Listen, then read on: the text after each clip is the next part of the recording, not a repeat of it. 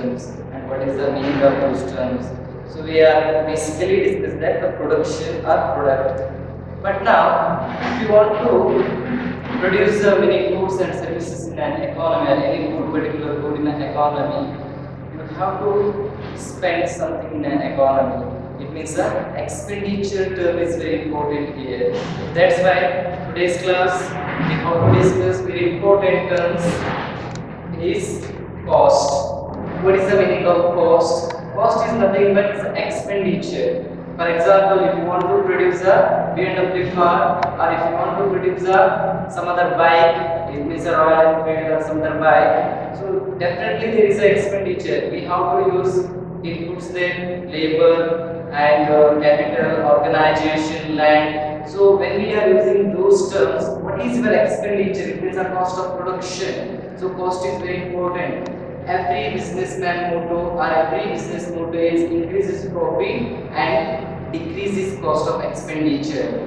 Always, as a household, as a firm, as anything, we always wanted to reduce our expenditure or reduce our cost, and we are increasing our economy. So, what type of cost we have in the economy? So, we have the short-term cost also, long-term cost also. First, we have to discuss short-term cost, and later we will discuss the long-term cost. In the short run cost, we have the seven types of cost: total cost, total variable cost, total fixed cost, and short run average cost, short run or marginal cost, average fixed cost, and average variable cost. These are the seven costs we have in a short run concept.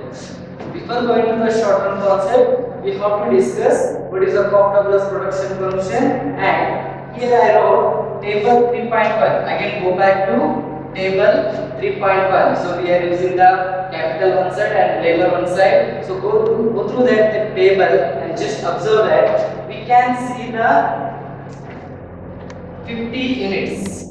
Is it clear? We can see that 50 units of output can be produced in a three way. The 10 units of output also can produce in a three way. which as I said, 50 units of output can be produced in a three ways. First one is a six labor, three capital, four labor, four capital, three labor, six capital. But my dear student, now question is, sir, which combination of input is best for the production? Which input combination will firm choose? For example, I am a businessman. I have a three option for here. My target will be 50 units. So I have the three ways to produce that. First way, second way, and third way. My now myself only I question which combination is best for me which combination will be the better for me? Which combination will give more profit to me? So myself itself will question. That's why in the many firms or many industries or many businessmen themselves they ask the questions which input combination will better for their production. So this one is a good for or this one or this one. How they are choose? It's very important they are choose based on least cost input combination. The answer is least cost input combination. For example, this combination cost will be maybe 30 rupees, this will be the maybe 25 rupees, this will be the maybe 40 rupees. So obviously firm will choose to the this input combination because least cost combination. When we are using 4 labor and 4 capital, your expenditure will be 25. When you are using 6 labor and 3 capital, your expenditure will be 30. When you are using 3 labor and 6 capital, your expenditure will be 40. Obviously, firm or individual definitely choose the, the second combination. It means a 4 labor and 4 capital because least cost input combination will always give the more profit in an economy. Is it clear? Why we are using choose the second combination only.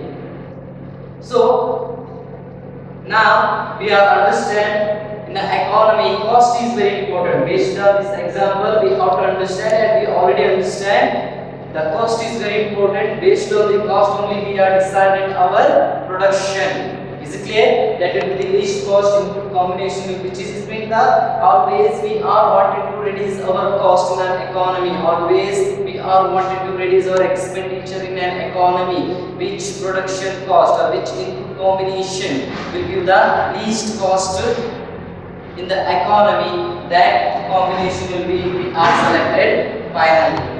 The next term will be the very important here Cobb-Douglas production function.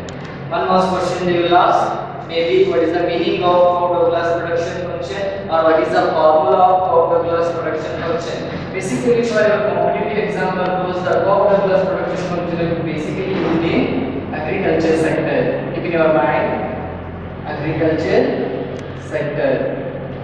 We are using the Cobb-Douglas production function is used in the agriculture sector. It's introduced by the two economics. One is the Cobb and one is the Douglas. That's why we are using this production system in the Cobb-Douglas production function. What basically is the Cobb-Douglas production function means? There is a two inputs x1 and x2 are two factors x1 and x2 factors means the labor and capital so two terms we have parameters. One is the alpha, one is the beta. Here in this x3 Cobb-Douglas production function, alpha and betas are remain constant in an economy. Alpha and betas are remain constant in an economy. So what is the meaning of Cobb-Douglas production system? Is nothing but firm produce q quantities of the output.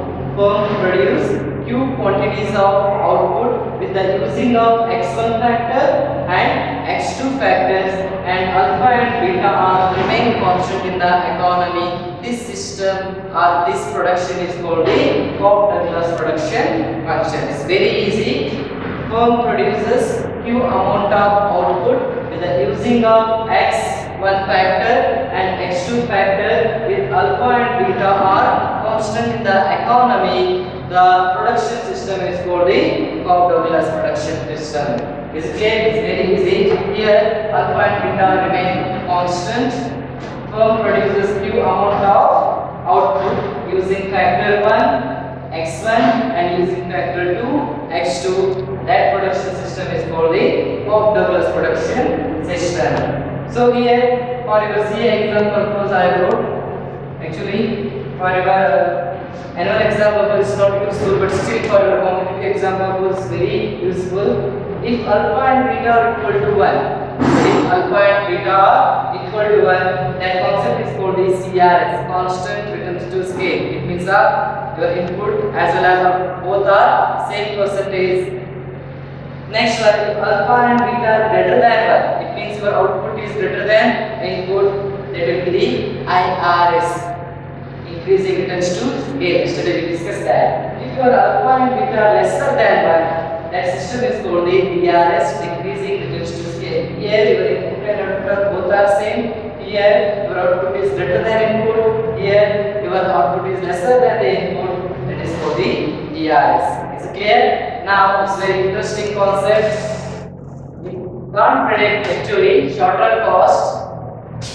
Sometimes they will ask for six marks question or 4 marks question or 2 marks question. Definitely they will ask 6 and 2 marks question. One numerical example will be 6 marks question and one 2 marks question definitely maybe SMC, SAC or whatever. If they are not asked for 6 marks question definitely they will ask for the 4 marks question. But keep in your mind most of the 99% they ask for the 6 marks question as well as the 2 marks question. Total will get the 8 marks in this concept short run cost. Maybe they will ask explain the short run cost with the diagrams. Then it's only theoretical. You have to write the definition of the all seven cost and formula and diagram with the table. Otherwise they will ask they gave one side quantities and one side the total cost they have to ask find out the SMC, SAC, PVC, TLC and some other concept. So what is the basic difference between the product as well as the cost? When we are using the product, it may be a total product, it may be a average product, it may be a marginal product, always we are using L input. L, it means a labor. For example, AB, the formula will be divided by L, right? But when it comes to the cost, average cost or marginal cost, we are using the TC divided by. Here is a production, here is a cost. But instead of labor, we are using the output or quantities. Q means is nothing but quantities. How many quantities are you used? Or how many output, how much output you are used here? The basic difference is here in the product, you are using the product, but in the below labor because input will be labor there because we are only changes in the labor there. Here will be output or quantity will the terms. Is the basic difference between your product as well as the cost. Now we have to discuss how many costs we have in the short run. We have the seven costs. Two marks question they will. Uh, right, short run cost. Total fixed cost. First one is the total fixed cost. Second one is the total variable cost. Third one is the total cost. Fourth one is the short run average cost. Fifth one is the average variable cost and sixth one is the average fixed cost. Sixth one is the short run marginal cost. Is it clear? Seven costs we have here. First we have to understand what is the meaning of total fixed cost. In an economy, in the short run, in the production system, we have the two inputs. One is the labor and one is the capital. One variable will remain fixed in the economy and one variable will be continuously changes in the economy. We already discussed that. Which variable will remain fixed in the economy? That variable is called the total fixed cost. Which variable will be remain fixed in that concept? Exists in the production system. Capital will be the remain fixed. That capital will be the total fixed cost in, in our example. So that that is fixed, right? one variable will remain fixed. That variable is called the total fixed cost. For example, land. We cannot change the land. For example, uh, tomorrow I am going to buy 30 40 land. After one year or after two years, that land be cannot be changed. Again remain 30 and 40 only. Never be 40 and 60. Never be 50 and 80. Never be 100 and 100. It remain fixed 30 and 40 only. It means it never be changed. Always we have to pay for those fixed cost in the economy. That cost is called the total fixed cost. One more is the building. So buildings are cannot be changed. For example, two uh, floor building is there after two years or after three years. It cannot be a three floor. It cannot be a four floor. It will remain fixed in the economy and always we are ready to pay for monthly or yearly for rent for that it never be changed. It will be the total fixed cost, building cost or land cost. For example, if you are staying in a rented house or rented room, every month you have to pay. You are there or not, you are staying or in that room or in that home, but you have to pay rent for that. For example, in the lockdown period, many people are went to their native places because of the coronavirus, but they have to pay rent for their room or their houses. That will be the cannot be changes because that is the total fixed cost. Your rent also and your some other taxes also cannot be changes in the economy. It will remain fixed in the economy. Those costs are considered as the total fixed cost. Is it clear? Next is the total variable cost. In the economy, in the short term, we have the will be the fixed cost, will be the variable cost. It means the one variable remain changes in the economy, continuously changes. So we already know that labor will be continuously changes in the economy. That's why your output also increases. That variable cost is nothing but total variable cost. Here is the best example will be the variable cost will be now is the our previous example is a capital will be remain fixed, right? So here will be the our labor will be remain fixed in the last example. So that's why labor is considered here is the total variable cost because it continuously changes in the economy. It never be fixed in the economy. So that's why example the capital and labor because capital is nothing but investment. Every year we are changes our investment pattern. For example, I have a one business, maybe it's a metal business or any other business. For example, in a 2019 I invest 2 lakh rupees for my business and but in the third year or the next 2020, 20 or 21 I, I hope to invest more than 5 lakh rupees because investment will become changes based on the demand and supply. The people are demanding more product, more metals, definitely I will invest more capital. If the values are changes, in the 2019 I invest only 2 lakh rupees, but in the 2020 I invest 5 lakh rupees. It changes, right? 2 lakh to 5 lakh. Definitely it will be the total variable cost. Even labor also. In a 2090 I used 3 labors, but in a 2090 I used 6 labors. It will be the changes. That concept is called the total variable cost. That total variable cost obviously we ready to pay. Here is a land and building rent will be the remain fixed 2000 only. Throughout the year it will be the 2000 only. But when comes to the labor, here maybe I am paying 300 rupees to them, but here I have to pay 600 rupees because labor are more here. Our cost system will be changes here. That is the concept of total variable cost. Is it clear? The next one is the total cost. Obviously, it's the very easiest one. Total cost is nothing but finally, with the help of your total fixed cost as well as the total variable cost, we can also find the total cost. If you are adding to a total variable cost as well as the total fixed cost, you will get the total cost. It means the economy of the both the costs. One is the fixed cost, one is the variable cost. If you are add some of the both the total fixed cost as well as the total variable cost, you will get the total cost in an economy.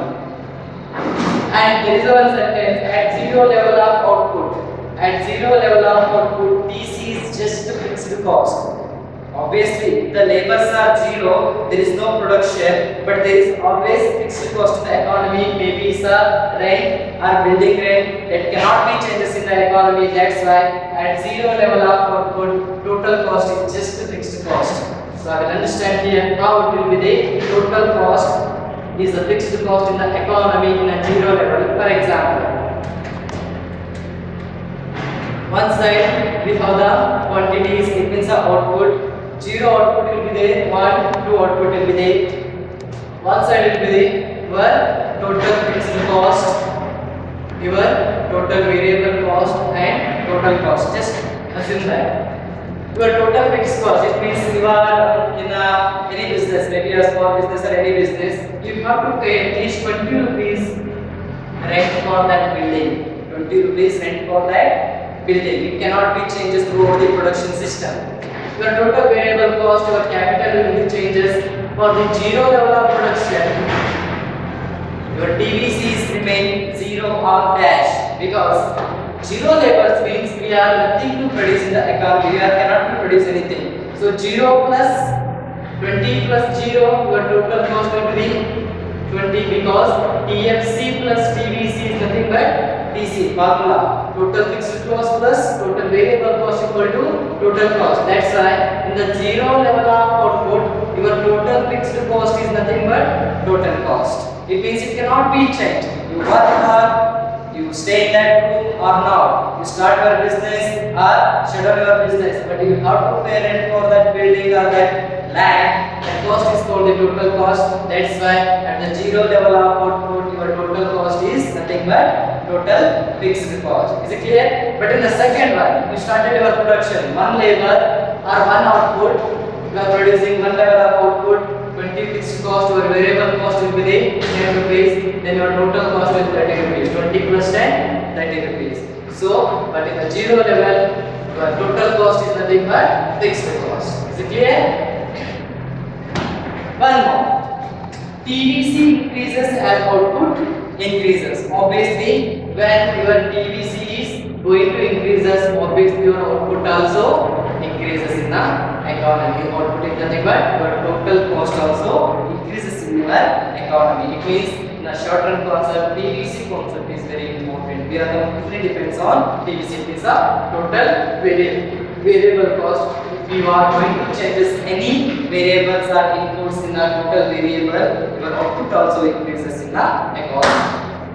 Next one is a short-run average cost. It's very important. So, keep in your understand, we already discussed that AP, right? Average product. What is the formula of average product? TP divided by L. But now we have to discuss average cost. Instead of product, we are going to discuss cost system here. What is the definition of average product? Average product is nothing but the total product per unit of input is it clear? Remember, the total product per unit of input.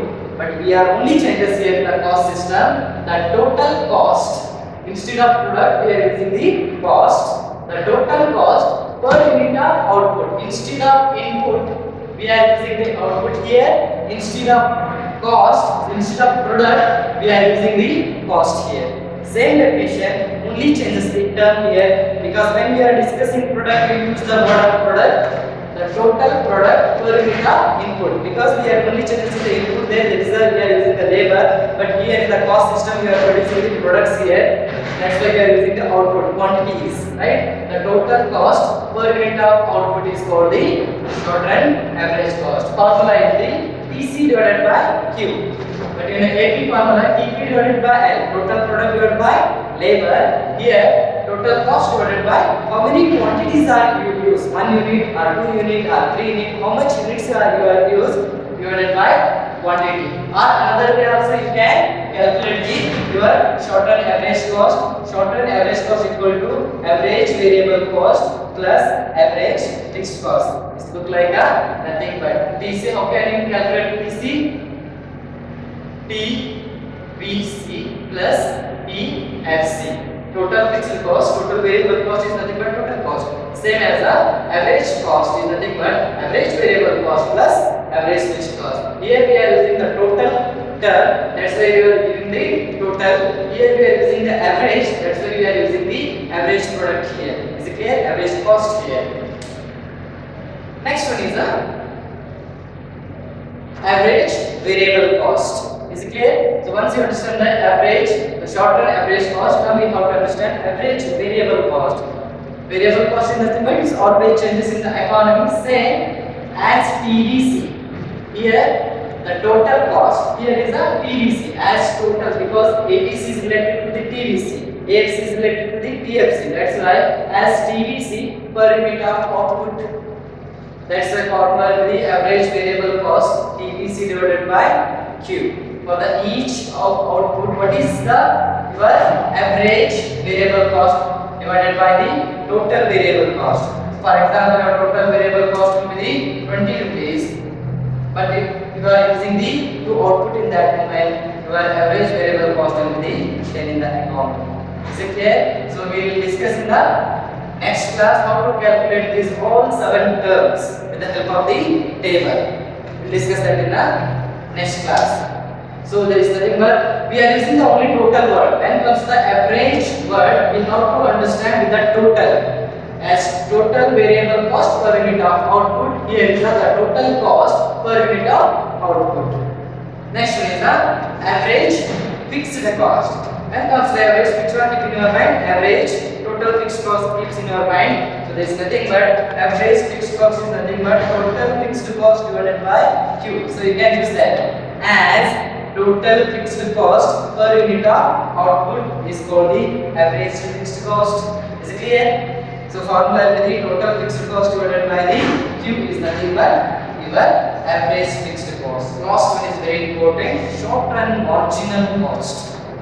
Short run marginal cost, the word. When comes the word marginal, you have to use one word change in. Both the change.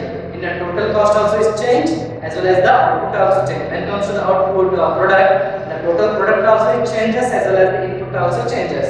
As the change in total cost, as the change in the total cost per unit change in output. But when it comes to the average cost, as the Instead of change, we are using only as the total cost per unit of output. Just add the word change both the side. That is your short run marginal cost. As the change in total cost per unit change in output is nothing else. Again, we already discussed that marginal product. Marginal product is nothing but change in TP divided by change in L. Due to the changes in your labor, what is the changes in your total product that is called marginal product. Here also, change in total cost divided by change in Q. Due to the changes in your output, what is your changes in total cost? That concept is called the marginal cost. Is it clear? All the seven terms are clearly understand. Very important is you have to understand and you have to remember all the formulas. How to remember? It's very easy. You have to remember all the formulas. Then only you have calculated easily. So one more you have to write here TBC. So you can find the TBC summation SMC formula. TBC is nothing but summation SMC will get the TBC total variable cost. TBC also you can get in another way. TBC is nothing but TC minus TFC. The two way you can find. If your TFC is given, TC is given, then easily calculate TBC. If your TC is not given, if your TC is not given, then you have to go for is nothing but summation SMC your TFC is not given, then you go for TBC is nothing but summation SMC. The two way you have to calculate your TBC. TFC is nothing but you have to calculate TFC is TC minus TBC. You have to calculate the TFC. But in the economy, always TFC value will be given. No problem for that. But only you have to ask for the TBC and they will ask for kind of the TC, SAC, ADC, as well as the SNC curve. So in the next class we have to discuss how to calculate these terms, how to calculate uh, TFC, TBC, TC as well as the SAC, ADC, AFC as well as the SNC. If the TC is not given, what to do for that? If TBC is not given, for what to do for that? If SNC is not given, how to calculate for that? We'll discuss in the next class. That is again six marks calculated. Is it clear? This is also six marks for theoretically. Theoretically, explain the short-run cost. Have to explain TFC, TBC, TC with the definition and formula. If time is there with a table, no diagrams. With a table, we have to explain all seven terms. In the table, we have to discuss in the next class and how to calculate also we will discuss in the next class. Is it clear? Next comes to the topic now.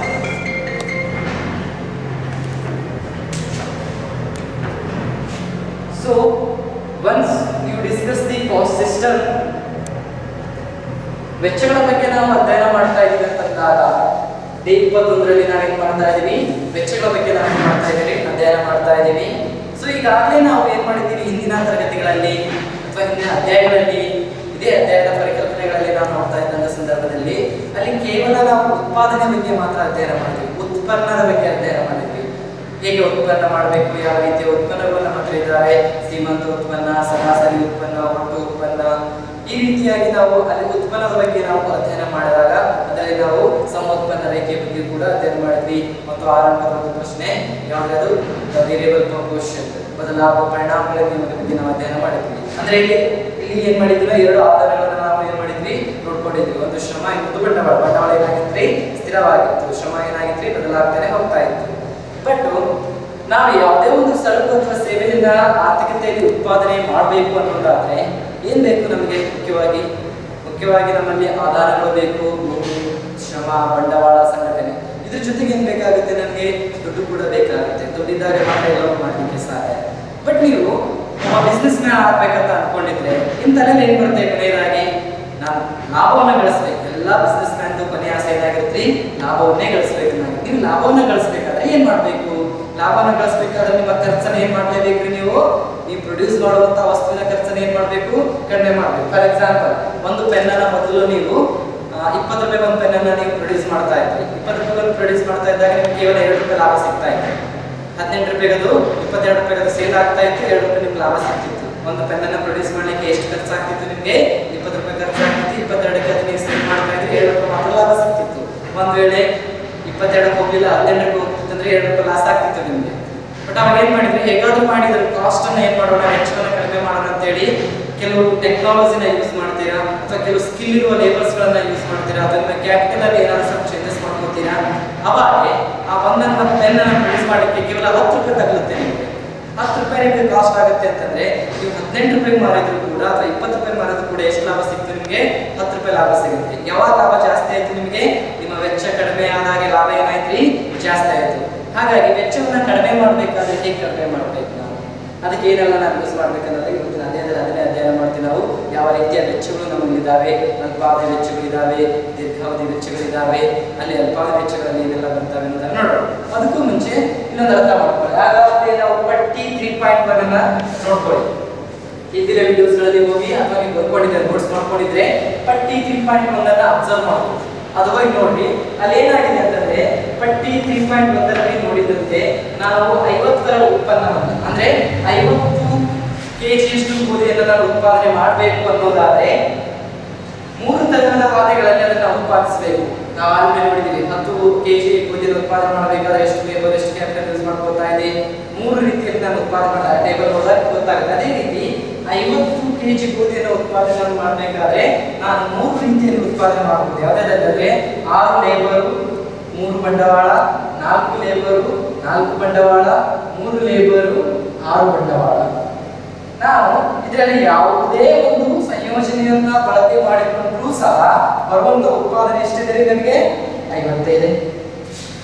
ಆರು labour ಆದ್ರೂ ಬಳಸ್ಬೋದು ಮೂರು capital ಆದ್ರೂ ಬಳಸ್ಬೋದು ನಾಲ್ಕು labour ಆದ್ರೂ ಬಳಸ್ಬೋದು ನಾಲ್ಕು ಕ್ಯಾಪಿಟಲ್ ಆದ್ರೂ ಬಳಸ್ಕೋ. ಮೂರು ಲೇಬರ್ ಆದ್ರೂ ಬಳಸು ಆರು ಕ್ಯಾಪಿಟಲ್ ಆದ್ರೂ ಬರೋ ಬರುವಂತ ಉತ್ಪನ್ನ ಎಷ್ಟಿದೆ? ಐವತ್ತು ಕೆ ಜಿ ಇದೆ. ಹಾಗಿದ್ರೆ ನೀವು ನಿಮ್ಮ ಕ್ವಶನ್ ಮಾಡ್ಬೋದು ಇವಾಗ. ಸರ್ ಮೂರು ನಮಗೆ ಆಪ್ಷನ್ ಇದೆ. ಹಾಗಿದ್ರೆ ಇದರಲ್ಲಿ ಯಾವ್ದು ಬೆಸ್ಟ್ ಯಾವ್ದನ್ನ ನಾನು ಆಯ್ಕೆ ಮಾಡ್ಕೊಳ್ಳಿ. ಇದನ್ನ ಆಯ್ಕೆ ಮಾಡ್ಕೊಳ್ಳ, ಇದನ್ನ ಆಯ್ಕೆ ಮಾಡ್ಕೊಳ್ಳ, ಇದನ್ನ ಆಯ್ಕೆ ಮಾಡ್ಕೊಳ್ಳ ಅಂತ ಸಮಸ್ಯೆ ನಿಮಗೆ ಖಂಡಿತವಾಗಿ ಬಂದೇ ಬರುತ್ತೆ. ಆ ಸಂದರ್ಭದಲ್ಲಿ ನಾವು ಏನ್ ಮಾಡಬೇಕು ಅಂತಂದ್ರೆ, ಹೆಂಗೆ ಆಯ್ಕೆ ಮಾಡ್ಕೋತೀರ ನೀವು? ಈ ಪ್ರಶ್ನೆ ಏನೋ ಬಂದಾಗ ಮೂರು ತರಹದ ಆಪ್ಷನ್ ಇದಾವೆ ನಿಮಗೆ. ಅರ್ಥ ಆಯ್ತಲ್ವಾ? ಆ ಆಪ್ಷನ್ಗಳಲ್ಲಿ ನೀವು ಯಾವುದೇ ಯೂಸ್ ಮಾಡಿದ್ರು ಕೂಡ ಉತ್ಪಾದನೆ ಎಷ್ಟು ಬರ್ತಾ ಇದೆ ನಿಮಗೆ? ಐವತ್ತೇ ಬರ್ತಾ ಇದೆ. ಐವತ್ತು ಕೆಜಿ ಗೋಧಿಯಲ್ಲಿ ಉತ್ಪಾದನೆ ಮಾಡ್ತಾ ಇದ್ದೀರಾ ನೀವು ಹಾಗಿದ್ದಾಗ ಯಾವುದನ್ನ ಯೂಸ್ ಮಾಡ್ಬೇಕು? ಯಾವ ಬೇಕಿದ್ರೆ ಯೂಸ್ ಮಾಡ್ಬೋದಾ? ಖಂಡಿತ ಇಲ್ಲ. ಯಾವ ಒಂದು ಸಂಯೋಜನೆಯಿಂದ ನನಗೆ ಕಡಿಮೆ ವೆಚ್ಚ ಸಿಗುತ್ತದೆಯೋ ಕಡಿಮೆ ವೆಚ್ಚದ ಆಹಾರ ಸಂಯೋಜನೆ ಉತ್ತರ ಏನಾಗಬೇಕ್ರಿ ಇದನ್ನ ಯೂಸ್ ಮಾಡಿದ್ರೆ ನಮಗೆ ವೆಚ್ಚ ಕಡಿಮೆ ಆಗುತ್ತಾ? ಇದನ್ನ ಯೂಸ್ ಮಾಡಿದ್ರೆ ನಮಗೆ ವೆಚ್ಚ ಕಡಿಮೆ ಆಗುತ್ತಾ? ಇದನ್ನ ಯೂಸ್ ಮಾಡಿದ್ರೆ ನನಗೆ ವೆಚ್ಚ ಕಡಿಮೆ ಅನ್ನೋದನ್ನ ನೋಡಿಕೊಂಡು ಯಾವ್ದರಿಂದ ನಮಗೆ ವೆಚ್ಚ ಕಡಿಮೆ ಅಂತ ನೋಡಿಕೊಂಡು ಆ ಸಂಯೋಜನೆಯನ್ನು ಆಯ್ಕೆ ಮಾಡ್ಕೊಳ್ತೀವಿ. ಫಾರ್ ಎಕ್ಸಾಂಪಲ್ ಆರು ಲೇಬರ್ ಮೂರು ಕ್ಯಾಪಿಟಲ್ ಅನ್ನ ಯೂಸ್ ಮಾಡ್ಕೊಂಡ್ರೆ ನಮಗೆ ಮೂವತ್ತು ರೂಪಾಯಿ ಖರ್ಚಾಗುತ್ತೆ. ನಾಲ್ಕು ಲೈಬರು, ನಾಲ್ಕು ಬಂಡವಾಳವನ್ನು ತಗೊಂಡ್ರೆ ನನಗೆ ಇಪ್ಪತ್ತೈದು ರೂಪಾಯಿ ಖರ್ಚಾಗುತ್ತೆ. ಮೂರು ಲೈಬರು, ಆರು ಬಂಡವಾಳ ತಗೊಂಡ್ರೆ ನನಗೆ ನಲ್ವತ್ತು ರೂಪಾಯಿ ಖರ್ಚಾಗುತ್ತೆ. ಹಾಗಿದ್ದಾಗ ನಿಮ್ಮನ್ನೇ ಕೇಳ್ತೀನಿ ನಾನು, ಯಾವ್ದನ್ನ ಆಯ್ಕೆ ಮಾಡ್ಕೋತೀರಾ ಆಬ್ವಿಯಸ್ಲಿ ಎಲ್ಲರೂ ಯಾವ್ದನ್ನ ಆಯ್ಕೆ ಮಾಡ್ಕೋತೀರಿ ಎರಡನೇದನ್ನ ಆಯ್ಕೆ ಮಾಡ್ಕೋತೀರಿ ಯಾಕೆ ಎರಡನೇದನ್ನ ಆಯ್ಕೆ ಮಾಡ್ಕೋತೀರಾ? ಇಲ್ಲ ಆದ್ರೆ ಮೂವತ್ತು ರೂಪಾಯಿ ಖರ್ಚಾಗುತ್ತೆ, ಇಲ್ಲ ಆದ್ರೆ ನಲ್ವತ್ತು ರೂಪಾಯಿ ಖರ್ಚಾಗುತ್ತೆ, ಇಲ್ಲ ಆದ್ರೆ ಎಷ್ಟು ಖರ್ಚಾಗುತ್ತೆ? ಕೇವಲ ಇಪ್ಪತ್ತೈದು ರೂಪಾಯಿ ಖರ್ಚಾಗುತ್ತೆ. ನಮ್ಮ ಖರ್ಚು ಕಡಿಮೆ ಆದಂಗೆಲ್ಲ ಬರುವಂತ ಲಾಭ ಏನಾಗುತ್ತೆ? ಜಾಸ್ತಿ ಆಗುತ್ತೆ. ಹಾಗಾಗಿ ಈ ಒಂದು ಸಂಯೋಜನೆಯಲ್ಲಿ ನಾವೇನ್ ಮಾಡ್ಕೋತೀವಿ? ಆಯ್ಕೆ ಮಾಡ್ಕೋತೀವಿ. ಆ ನಾವು ಕಡಿಮೆ ವೆಚ್ಚ, ಎಲ್ಲಿ ನಮಗೆ ವೆಚ್ಚ ಕಡಿಮೆ ಆಗುತ್ತಲ್ಲ, ಆ ಸಂಯೋಜನೆಯನ್ನು ನಾವೇನ್ ಮಾಡ್ಕೋತೀವಿ? ಆಯ್ಕೆ ಮಾಡ್ಕೋತೀವಿ.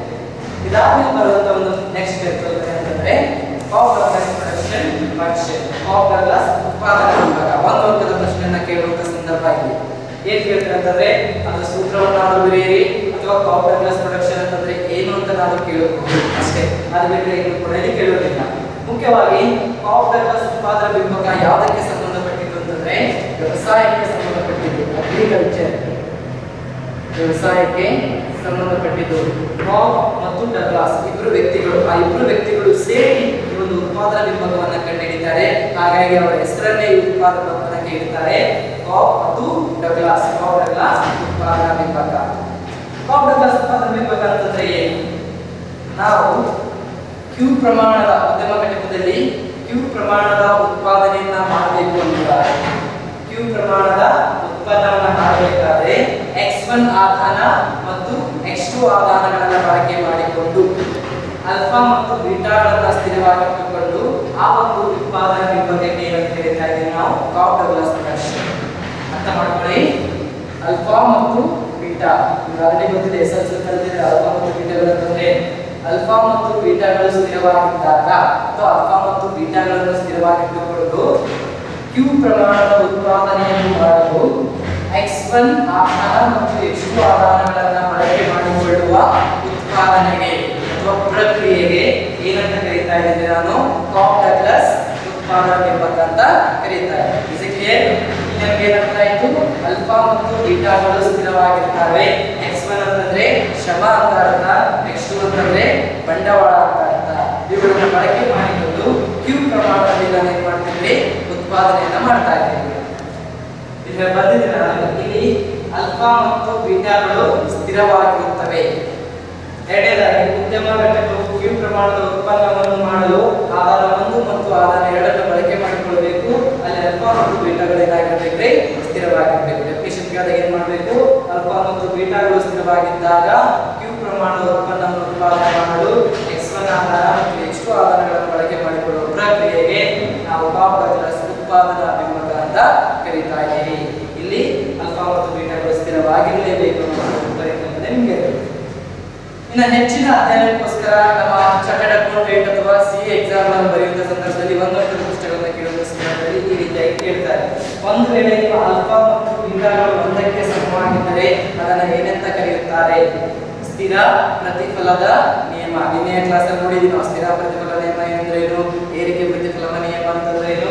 ಮತ್ತು ಇಳಿಕೆಯ ಪ್ರತಿಫಲನ ನಿಯಮ ಅಂತಂದ್ರೆ ಒಂದು ವೇಳೆ ನಿಮ್ಮ ಅಲ್ಪ ಮತ್ತು ಬೀಟಾಗಳು ಒಂದಕ್ಕೆ ಸಮವಾಗಿದ್ರೆ ಅದು ಸ್ಥಿರ ಪ್ರತಿಫಲ ನಿಯಮ ಅಂದ್ರೆ ನಿಮ್ಮ ಉತ್ಪನ್ನ ಮತ್ತು ಆಧಾರಗಳು ಪಟ್ಟು ಉತ್ಪನ್ನ ಮತ್ತು ಆಧಾರಗಳು ಒಂದೇ ಆಗಿದ್ರೆ ಅದು ಏನಾಗುತ್ತೆ? ಸ್ಥಿರ ಆಗಿರುತ್ತದೆ.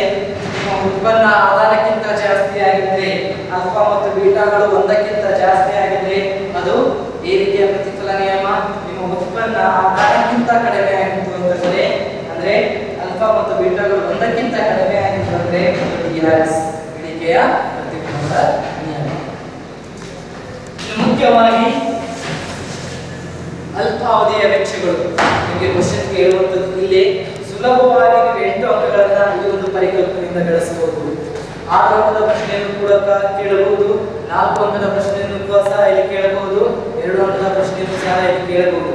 ಆರು ಅಂಕದ ಪ್ರಶ್ನೆಯನ್ನು ಥಿಯೋರಿಟಿಕಲ್ ಕೇಳೋದಾದ್ರೆ ಏನ್ ಕೇಳ್ತಾರೆ ಅಂತಂದ್ರೆ ಅಲ್ಪಾವಧಿಯ ವೆಚ್ಚಗಳನ್ನು ಪಟ್ಟಿಯ ಸಹಾಯಕ ವಿವರಿಸಿ ಪಟ್ಟಿಯೊಂದಿಗೆ ವಿವರಿಸಿ. ಆ ಪಟ್ಟಿಯನ್ನು ನಾವು ಮುಂದಿನ ತರಗತಿಯಲ್ಲಿ ಹೇಳ್ತೀವಿ ಅದನ್ನ ಹೇಗೆ ನೀವು ಕ್ಯಾಲ್ಕುಲೇಟ್ ಮಾಡಬೇಕು ಅಂತ ಹೇಳಿ ಅವಾಗ ನೀವು ಎಲ್ಲ ಏಳು ವೆಚ್ಚಗಳನ್ನ ವ್ಯಾಖ್ಯಾನಗಳನ್ನ ಬರೀಬೇಕು ಫಾರ್ಮುಲಾ ಬರೀಬೇಕು, ಆ ಟೇಬಲ್ ಜೊತೆಗೆ ಎರಡನೇದಾಗಿ ಕೇಳೋದಾದ ನಿಮಗೆ ಒಂದು ಪ್ರಾಬ್ಲಮೆಟಿಕ್ ಕೇಳಕ್ ಕೇಳ್ತಾರೆ.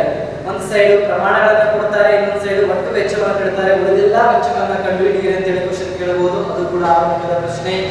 ಇನ್ನೊಂದು ಎರಡನೇ ಪ್ರಶ್ನೆ ಇದರಲ್ಲಿ ಯಾವ್ದಾದ್ರು ಒಂದನ್ನ ಡೆಫಿನಿಷನ್ ಕೇಳಬಹುದು ವ್ಯಾಖ್ಯಾನವನ್ನ. ಮೇ ಬಿ ಅದು ಸರಾಸರಿ ವೆಚ್ಚ ಆಗಿರ್ಬೋದು ಅಥವಾ ಸೀಮಂತ ವೆಚ್ಚ ಆಗಿರ್ಬೋದು ಇದಾದ ಯಾವ್ದಾದ್ರು ವೆಚ್ಚದ ಡೆಫಿನೇಷನ್ ಕೇಳಿದ್ರೆ ಎರಡು ನಾಲ್ಕು ಕೇಳುವಂತ ಪರಿಸ್ಥಿತಿಗಳು ಕಡಿಮೆ ಬಟ್ ಕೇಳೋದಾದ್ರೆ ಏನು ಕೇಳಿದ್ರೆ ಜಸ್ಟ್ ಐದು ಕೊಡ್ತಾರೆ ಟೋಟಲ್ ಕಾಸ್ಟ್ ಕೊಡ್ತಾರೆ. ಎಸ್ ಎಸ್ ಸಿ ಮತ್ತು ಎಸ್ ಎಸ್ ಸಿ ಕಂಟಿನ್ಯೂ ಅಂತ ಕೇಳಬಹುದು. But most of the time ಕೇಳುವಂಥದ್ದು ಆರು ಅಂಕ ಮತ್ತು ಎರಡು ಅಂಕ. ಒಟ್ಟಾರೆಯಾಗಿ ಈ ಪರಿಕಲ್ಪನೆಯಿಂದ ನಿಮಗೆ ಬರುವಂಥದ್ದು ಎಂಟು ಅಂಕಗಳು ಸುಲಭವಾಗಿ ನೀವು ಏನು ಮಾಡ್ಬೋದ್ರಿ? ಎಂಟು ಅಂಕಗಳ ಗಳಿಕೆಯನ್ನು ನೀವು ಏನು ಮಾಡಬಹುದು ಮೊದಲೇದಾಗಿ ಏಳು ನಮಗೆ ರೀತಿಯ ಅಲ್ಪಾವಧಿಯ ವೆಚ್ಚಗಳು ಬರ್ತಾರೆ ನಾವು ಅಲ್ಪಾವಧಿಯನ್ನು ಅಧ್ಯಯನ ಮಾಡ್ತೀವಿ ಅಂತ ಅರ್ಥ ಮಾಡ್ಕೋಬೇಕು. ಇಲ್ಲಿ ಒಂದು ಆದಾಯ ಏನಾಗಿರುತ್ತೆ? ಸ್ಥಿರವಾಗಿರುತ್ತೆ. ಇನ್ನೊಂದು ಆದಾಯ ಏನಾಗ್ತಾ ಇರುತ್ತೆ? ಬದಲಾವಣೆ ಆಗ್ತಾನೆ ಇರುತ್ತೆ. ಅಲ್ಪಾವಧಿಯಲ್ಲಿ ಏಳು ವೆಚ್ಚಗಳು ಬರ್ತವೆ. ಒಟ್ಟು ಸ್ಥಿರ ವೆಚ್ಚ, ಒಟ್ಟು ಬದಲಾಗುವ ವೆಚ್ಚ, ಒಟ್ಟು ವೆಚ್ಚ, ಅಲ್ಪಾವಧಿಯ ಸರಾಸರಿ ವೆಚ್ಚ ಸರಾಸರಿ ಬದಲಾಗುವ ವೆಚ್ಚ, ಸರಾಸರಿ ಸ್ಥಿರ ವೆಚ್ಚ, ಅಲ್ಪಾವಧಿಯ ಸೀಮಾಂತ ವೆಚ್ಚ. ಏಳು ವೆಚ್ಚಗಳು ಬರ್ತಾ ಇದ್ದಾವೆ ಸರ್, ಕನ್ನಡದಲ್ಲೇ ಬರೀಬೇಕಾ? ಏನು ಪ್ರಾಬ್ಲಮ್ ಇಲ್ಲ.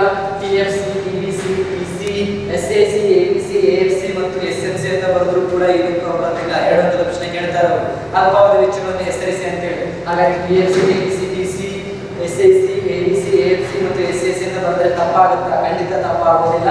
ಈ ರೀತಿ ಕೂಡ ಬರೀಬಹುದು ಬಟ್ ಏನು ಟೋಟಲ್ ಫಿಕ್ಸ್ಡ್ ಕಾಸ್ಟ್ ಅದನ್ನೇ ಕನ್ನಡದಲ್ಲಿ ಏನಂತ ಕರಿತೀವಿ ನಾವು? ಒಟ್ಟು ಸ್ಥಿರ ವೆಚ್ಚ ಅಂತ ಕರಿತೀವಿ ಆದ್ದರಿಂದ ಈಗಾಗಲೇ ನಾವು ನೋಡಿದೀವಿ ಇಂದಿನ ಪರಿಕಲ್ಪನೆ ನೋಡಬೇಕಾದ್ರೆ, ಉತ್ಪಾದನೆ ಮಾಡಬೇಕಾದ್ರೆ ಎರಡು ಆಧಾರಗಳು ಬೇಕೇ ಬೇಕು ನಮಗೆ. ಯಾವ್ದಾದ್ರು ಒಂದು ಶ್ರಮ ಬೇಕು ಇದೊಂದು ಯಾವ್ದು ಬೇಕಾಗುತ್ತೆ? ಬಂಡವಾಳ ಬೇಕಾಗುತ್ತೆ. ಸೊ ಇಲ್ಲಿ ಯಾವ್ದಾದ್ರು ಒಂದು ಆಧಾರ ಏನಾಗಿರಲೇಬೇಕಂತ ಹೇಳಿದ ನಾನು ಸ್ಥಿರವಾಗಿರಬೇಕು ಯಾವ ಆಧಾರ ಆರ್ಥಿಕತೆಯಲ್ಲಿ ಸ್ಥಿರವಾಗಿರುತ್ತದೆ ಎಲ್ಲವೋ, ಆ ಆಧಾರವನ್ನು ಏನಂತ ಕರೀತಾ ಇದ್ದೀವಿ ನಾವು. ಒಟ್ಟು ಸ್ಥಿರ ವೆಚ್ಚ ಅಂತ ಕರೀತಾ ಇದ್ದೀನಿ. ಯಾವುದೇ ಕಾರಣಕ್ಕೂ ಈ- ವೆಚ್ಚ ಆರ್ಥಿಕತೆಯಲ್ಲಿ ಬದಲಾಗುವುದಿಲ್ಲ. ಅದು ಯಾವಾಗಲೂ ಏನಾಗಿರುತ್ತೆ? ಸ್ಥಿರವಾಗಿರುತ್ತೆ. ಫಾರ್ ಎಕ್ಸಾಂಪಲ್ ಇಲ್ಲಿ ಏನ್ ಕೊಟ್ಟಿದ್ದೀನಿ ನಾನು? ಭೂಮಿ ಮತ್ತು ಬಿಲ್ಡಿಂಗ್ ಅಂತ ಕೊಟ್ಟಿದ್ದೀನಿ. ಭೂಮಿ, ಕಟ್ಟಡ. ಯಾಕೆ ಭೂಮಿ ಮತ್ತು ಕಟ್ಟಡವನ್ನೇ ಕೊಟ್ಟಿದ್ದೀನಿ ಅಂತ ಹೇಳೋದಾದ್ರೆ, ಯಾಕೆ ಈ ಒಂದು ಕಾಸ್ಟ್ ಚೇಂಜ್ ಆಗೋದಿಲ್ಲ ಅಂತ ಹೇಳೋದಾದ್ರೆ ಫಾರ್ ಎಕ್ಸಾಂಪಲ್ ನೀವು ಯಾವುದೊಂದು ಮನೆಯಲ್ಲಿ ಬಾಡಿಗೆಗಿದ್ದೀರಾ ಆಯ್ತಾ? ಏನೋ ಸಡನ್ ಆಗಿ ಫಾರ್ ಎಕ್ಸಾಂಪಲ್ ಇತ್ತೀಚಿನ ದಿನಮಾನಗಳೆಲ್ಲ ನೋಡಿದ್ವಿ, ಕೊರೋನಾ ವೈರಸ್ ಅಥವಾ ಕೋವಿಡ್ ನೈನ್ಟೀನ್ ಸಲುವಾಗಿ ಬೆಂಗಳೂರಲ್ಲಿ ಇದ್ದಂಥ ಜನ ಏನ್ ಮಾಡ್ತಾ ಇದ್ದಾರೆ ತಮ್ಮ ತಮ್ಮ ಹಳ್ಳಿಗಳಿಗೆ ಮರಳಿ ಬರ್ತಾ ಇದ್ದಾರೆ ಅವರು ಅಲ್ಲಿ ಮನೆಯಲ್ಲಿದ್ರು ಸೊ ಎರಡು ಮೂರು ತಿಂಗಳ ಸಲುವಾಗಿ ಏನ್ ಮಾಡಿದ್ದಾರೆ, ಆ ಮನೆಯನ್ನು ಬಿಟ್ಟು ತಮ್ಮ ಹಳ್ಳಿಗಳಿಗೆ ಬಂದಿದ್ದಾರೆ. ಹಾಗಂತ ಬಾಡಿಗೆ ಕೊಡದೆ ಇರೋಕ್ಕಾಗಲ್ಲ ಏನ್ ಮಾಡ್ಲೇಬೇಕ್ರಿ ಅವರು ಬಾಡಿಗೆ ಕೊಡ್ಲೇಬೇಕು. ನೀವು ಆ ಮನೆಯಲ್ಲಿ ಇರಿ, ಬಿಡಿ. ಪ್ರತಿ ತಿಂಗಳು ಏನು ಕೊಡ್ಲೇಬೇಕಾಗತ್ತೆ ನೀವು? ಬಾಡಿಗೆಯನ್ನ ಕೊಡ್ಲೇಬೇಕಾಗತ್ತೆ. ಅಥವಾ ಯಾವುದೋ ಒಂದು ಭೂಮಿ ಇದೆ, ಆ ಭೂಮಿಯನ್ನ ನೀವು ಕೊಂಡ್ಕೊಂಡಿದ್ದೀರಾ ಅಂತಂದ್ರೆ, ಆ ಭೂಮಿಯನ್ನ ನೀವು ಬಿತ್ತನೆ ಮಾಡಿ ಆ ಭೂಮಿಗೆ ಕಟ್ಟಲೇಬೇಕಾಗುತ್ತೆ ನೀವು, ತೆರಿಗೆಯನ್ನ ಕಟ್ಟಲೇಬೇಕಾಗುತ್ತೆ. ಇವು ಯಾವುದೇ ಕಾರಣಕ್ಕ ಈ ಒಂದು ವೆಚ್ಚಗಳು ಏನಾಗುವುದಿಲ್ಲ, ಆರ್ಥಿಕತೆಯಲ್ಲಿ ಬದಲಾವಣೆ ಆಗುವುದಿಲ್ಲ. ಆ ಭೂಮಲ್ಲಿ ವಿವಿ ಬಿಡಿ ಹೊರಗಡೆ ಏನ್ ಬೇಕಿದ್ರು ಮಾಡಿ. ಏನ್ ಕಟ್ಟಲೇಬೇಕಾಗುತ್ತೆ ನೀವು? ತೆರಿಗೆ ಅಥವಾ ಬಾಡಿಗೆಯನ್ನ ಕಟ್ಟಲೇಬೇಕಾಗುತ್ತೆ ಈ ತರದ ವೆಚ್ಚಗಳಿಗೆ ಏನಂತ ಕರಿತಾ ಇದೀವಿ ನಾವು? ಒಟ್ಟು ಸ್ಥಿರ ವೆಚ್ಚ ಅಂತ ಕರಿತಾ ಇದೀವಿ. ಈ ವೆಚ್ಚಗಳು ಏನಾಗೋದಿಲ್ರಿ? ಬದಲಾವಣೆ ಆಗೋದಿಲ್ಲ. ಫಾರ್ ಎಕ್ಸಾಂಪಲ್ ಮೊದಲನೇ ತಿಂಗಳು ಮನೆ ಬಾಡಿಗೆ ಎರಡು ನೂರು ರೂಪಾಯಿ ಕಟ್ಟಿದೆ. ಎರಡನೇ ತಿಂಗಳು ಮುನ್ನೂರು ರೂಪಾಯಿ ಆಗುತ್ತಾ? ಸಾಧ್ಯನೇ ಇಲ್ಲ. ನಾಲ್ಕನೇ ತಿಂಗಳು ಆಗುತ್ತಾ ಇಲ್ಲ. ಒಂದು ವರ್ಷ ಪೂರ್ತಿ ವೆಚ್ಚ ಏನಾಗಿರ್ಲೇಬೇಕ್ರಿ ಸ್ಥಿರವಾಗಿರ್ಲೇಬೇಕು. ಮೊದಲನೇ ಜನವರಿ ಎಂಟ್ನೂರು ರೂಪಾಯಿ ಬಾಡಿಗೆ ಕಟ್ಟಿದೆ ಅಂತಂದ್ರೆ ಡಿಸೆಂಬರ್ವರೆಗೂ ಕೂಡ ಏನು ಕಟ್ಟಲೇಬೇಕು ಎಂಟ್ನೂರು ರೂಪಾಯಿ ಬಾಡಿಗೆ ಕಟ್ಟಲೇಬೇಕು ಇದು ಏನು ಆಗೋದಿಲ್ಲ ಚೇಂಜಸ್ ಆಗೋದೇ ಇಲ್ಲ. ಬಟ್ ಮುಂದಿನ ವರ್ಷ ಓನರ್ ಅನ್ನು ಚೇಂಜ್ ಮಾಡ್ಬೋದು. ಬಟ್ ಒಂದು ವರ್ಷದವರೆಗೆ ಅದನ್ನ ಏನು ಮಾಡ್ಲಿಕ್ಕೆ ಬರೋದಿಲ್ಲ ನಮಗೆ? ಬದಲಾವಣೆ ಮಾಡ್ಲಿಕ್ಕೆ ಬರೋದಿಲ್ಲ. ಯಾವ ವೆಚ್ಚವನ್ನು ನಾವು ಬದಲಾವಣೆ ಮಾಡ್ಲಿಕ್ಕೆ ಬರೋದಿಲ್ಲಲ್ಲ, ಆ ವೆಚ್ಚವನ್ನು ಏನಂತ ಕರಿತಾ ಇದ್ದೀನಿ ನಾನು. ಬಟ್ ಸ್ಥಿರ ವೆಚ್ಚ ಅಂತ ಕರಿತಾ ಇದ್ದೀನಿ. ಅರ್ಥ ಆಯ್ತು? ಎರಡನೇದಾಗಿ ಬರುವಂಥದ್ದು ಒಟ್ಟು ಬದಲಾಗುವ ವೆಚ್ಚ. ಈ ಉದಾಹರಣೆ ಕೊಟ್ಟಿದ್ದೀನಿ? ಬಂಡವಾಳ ಮತ್ತು ಶ್ರಮ. ಯಾಕೆ ಬಂಡವಾಳ ಶ್ರಮ ಮತ್ತು ಬಂಡವಾಳ ಮತ್ತು ಶ್ರಮವನ್ನು ನಾನು ಬದಲಾಗುವ ವೆಚ್ಚ ಅಂತ ಕರೆದೆ ಅಂತಂದ್ರೆ, ಈ ವೆಚ್ಚಗಳು ಯಾವಾಗಲೂ ಬದಲಾವಣೆ ಆಗ್ತಾನೆ ಇರ್ತಾವೆ. ಫಾರ್ ಎಕ್ಸಾಂಪಲ್ ನೀವು ಕಬ್ಬನ್ನ ಬೆಳೆದಿದ್ದೀರಾ? ಅಲ್ಲಿ ಬರುವಂತ ಕಾರ್ಮಿಕರು ಏನ್ ಮಾಡ್ತಾ ಇದ್ರೆ? ಬರ್ತಾರೆ ಒಂದ್ಸಾರಿ ನಾಲ್ಕು ಜನ ಬರ್ತಾರೆ, ಒಂದ್ಸಾರಿ ಐದು ಜನ ಬರ್ತಾರೆ, ಒಂದ್ಸಾರಿ ಹತ್ತು ಜನ ಬರಿರ್ತಾರೆ ದುಡಿಲಿಕ್ಕೆ. ಸೊ ನಾಲ್ಕು ಜನ ಬಂದ್ರು ಅಂತಂದ್ರೆ ಅವರಿಗೆ ನಾಲ್ಕುನೂರು ರೂಪಾಯಿ ಕೂಲಿ ಕೊಡ್ಬೇಕಾಗತ್ತೆ. ಹತ್ತು ಜನ ಬಂದ್ರೆ ಎಷ್ಟು ಕೊಡ್ಬೇಕಾಗತ್ತೆ ಸಾವಿರ ರೂಪಾಯಿ ಕೂಲಿ ಕೊಡ್ಬೇಕಾಗತ್ತೆ.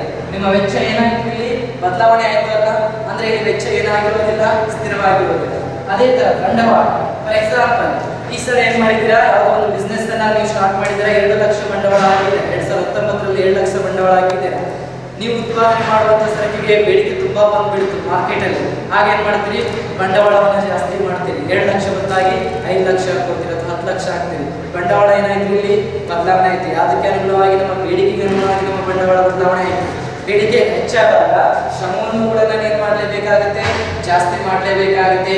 ಹಾಗಾಗಿ ಈ ವೆಚ್ಚಗಳು ಆರ್ಥಿಕತೆಯಲ್ಲಿ ಏನಾಗ್ಲಿಕ್ಕೆ ಸಾಧ್ಯವಿಲ್ಲ, ಸ್ಥಿರವಾಗಲಿಕ್ಕೆ ಸಾಧ್ಯವಿಲ್ಲ. ಯಾವ ವೆಚ್ಚಗಳು ಆರ್ಥಿಕತೆಯಲ್ಲಿ ಸ್ಥಿರವಾಗಿರಲು ಸಾಧ್ಯವಿಲ್ಲವೋ ಮತ್ತು ಆಗಿಂದ ಹಾಗೆ ಬದಲಾವಣೆ ಆಗ್ತಾ ಇರ್ತವಲ್ಲ, ಆ ವೆಚ್ಚಗಳಿಗೆ ಹೇಳ್ತಾ ಇದೀವಿ ಒಟ್ಟು ಬದಲಾಗುವ ವೆಚ್ಚ. ಗೊತ್ತಾಯ್ತು? ಮೂರನೇದಾಗಿ ಬರುವಂತದ್ದು ಬಟ್ ಇಲ್ಲಿ ಮೂರನೇದಾಗಿ ಬರುವಂತದ್ದು ಯಾವ್ದ್ರಿ?